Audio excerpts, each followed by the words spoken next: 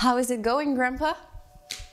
Get used to it because I'm 11 weeks pregnant. Oh, and There's almost a 100% chance it's going to be a boy, a 100% chance his name will be Marcus, and he has less than 1% chance to have Down syndrome or another chromosomal condition that can occur during conception.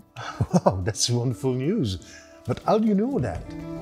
Prenatal screening tests like Panorama provide soon to be parents with the peace of mind they need early on in the pregnancy so that they can be better prepared and plan for their family. You're pregnant. That's great news. It's still early, I can hardly believe it, but we've already getting started. The advances in prenatal tests enticed us to find as much information as we could. Did you know? Some of the conditions that Panorama screens can happen completely by chance. And you can test as early as nine weeks to find out your baby's risk. That's also how I know we're having a Marcus and not a Chloe. Long live science. Tell me more about this panorama test.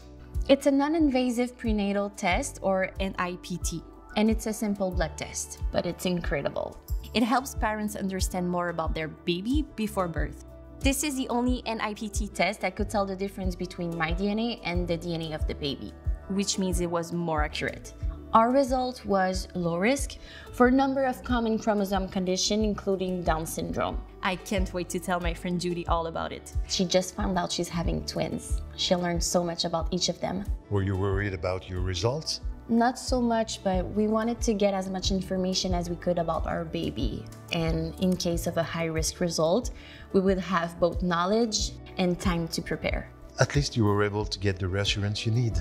Now you can leave your worries for nursery decorating decision. so much to celebrate We're moving forward. and in the right direction. That's odd, but getting to know all this knowledge makes me feel like I'm already taking care of him. You're already a great mom. Thank you. Thanks for everything, Dad. I have nothing to do with it. You're a stress ball. I don't need it anymore.